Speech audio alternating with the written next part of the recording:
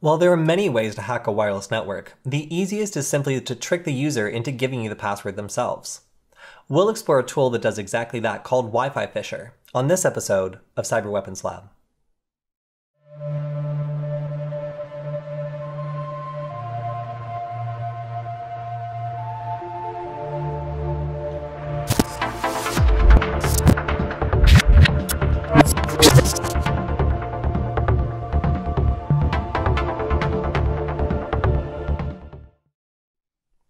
There are a lot of different attacks against Wi-Fi out there, and the majority of them actually use brute forcing in order to get the job done.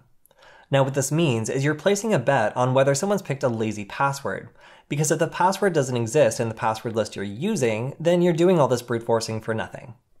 Now, because a lot of these techniques won't work, some people get bad results while using them, and the far easier technique is to simply trick the user into giving us the password themselves.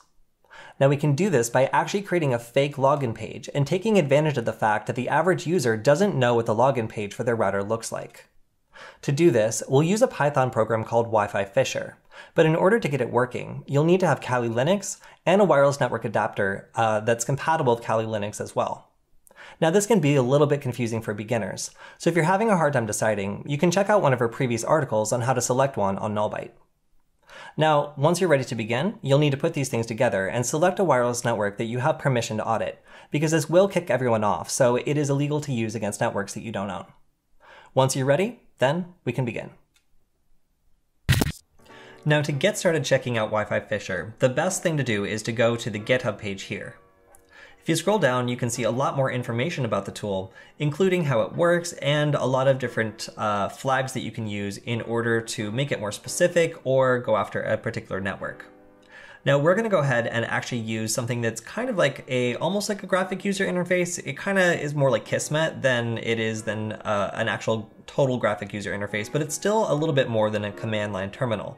So it's pretty cool that Wi-Fi Fisher has this because it makes it more beginner friendly, and you'll see what I mean as soon as we start it up. Now to get started with this, you'll need to clone the repository. So you can do that by copying this address here, and then in a terminal window, you can, let me grab one, just type get clone,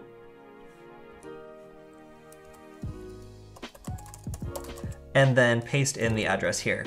Now I already have this, so it's gonna tell me the destination path already exists, but for you, it should go ahead and download the entire uh, repository, including all the files we need inside. So you can type cd and then Wi-Fi Fisher, and uh, once you're in the directory, you can type ls and we can see all the stuff in here, some of which is not installed by default. These were actually from one of our previous videos, but you can see there is a setup.py file and that is what we want. So to use this, we'll go ahead and type sudo python setup.py and then install.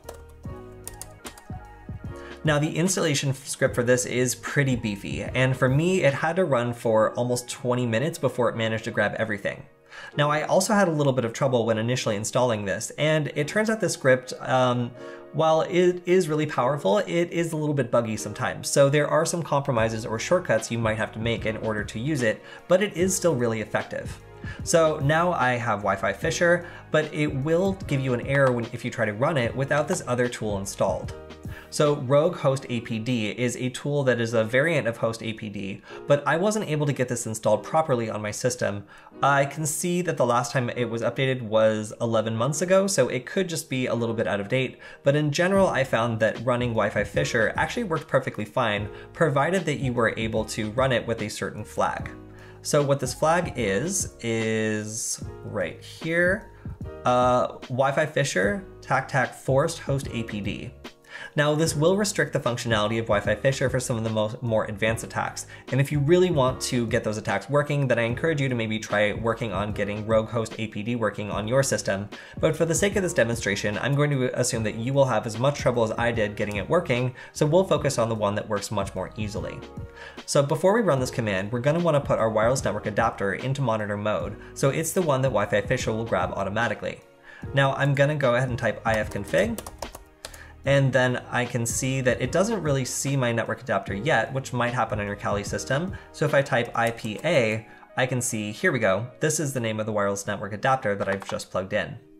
So to put this into monitor mode, I can type sudo airmon ng start WLAN 1, and this should go ahead and put our wireless network adapter into monitor mode, which will allow us to do all the fun stuff that Wi-Fi Fisher is going to need to do.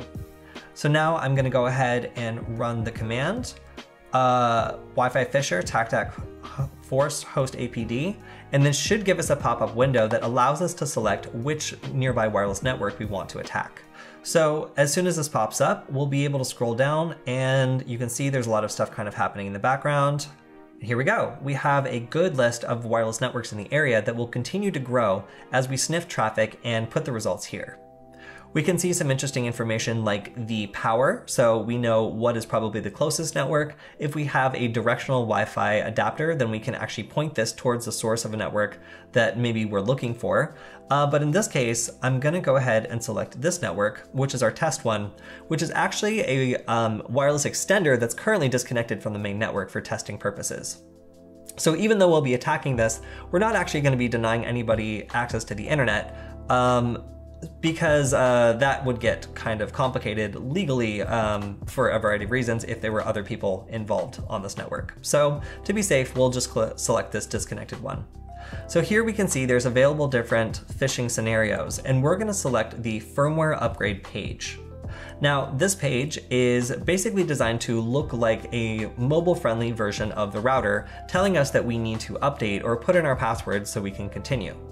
Now the hook here is we're gonna also keep deauthing the main network, meaning that they cannot use it until they agree to put in this password. So this attack is kind of tricky because it means that they'll be continually punished by not being able to get on their main Wi-Fi network until they give us what we want, which is the password.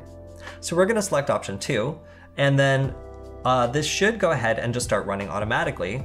And after a little bit, we'll see a, uh, here we go, a a dashboard that shows us more information about the fake network that we have created and some other devices that have connected.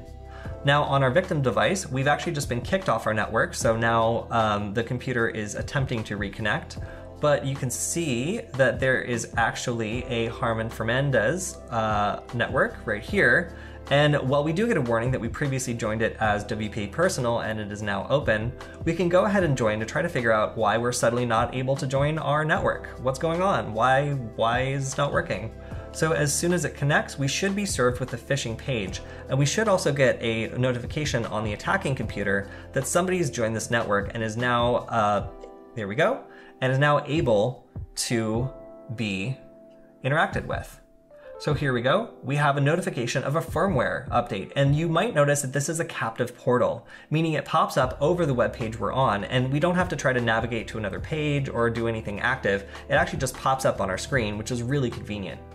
So here, uh, there are a couple of fake options, and I clicked on these, and it turns out it just tells you that in order to access these, you need to update, uh, which is pretty clever. So if you haven't seen your router's uh, firmware update before, then this could trick you into thinking that this is legitimate because it's even, this is a Belkin device, it probably got that from the um, MAC address of the router. So once I decide I don't want to be kicked off my own network anymore, because uh, there's, again, it's just going to keep kicking me off until I agree, I can type agree, and then here is my big fat password. So I'll go ahead and start the upgrade.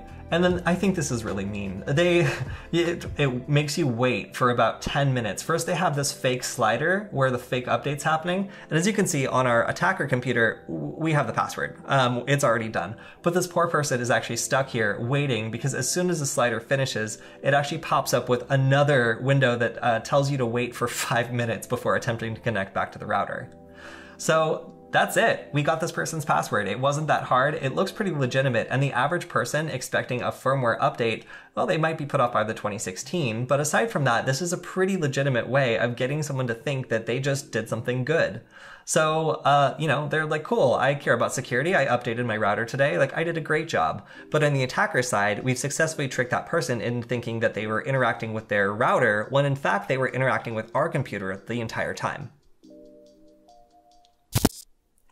Wi-Fi Fisher is a fascinating tool because it actually doesn't hack Wi-Fi at all. In fact, it's a social engineering attack against the fact that most people don't know what the login page looks like to their own router. Now, this is a pretty common attack, so you should be careful if this situation ever happens to you. Suddenly, your router or Wi Fi cuts out, and then there's a Wi Fi network with the exact same name but open nearby. If you see this, you should definitely assume that someone's trying to steal your Wi Fi password and act accordingly. That's all we have for this episode of Cyber Weapons Lab. Make sure to like, comment, and subscribe.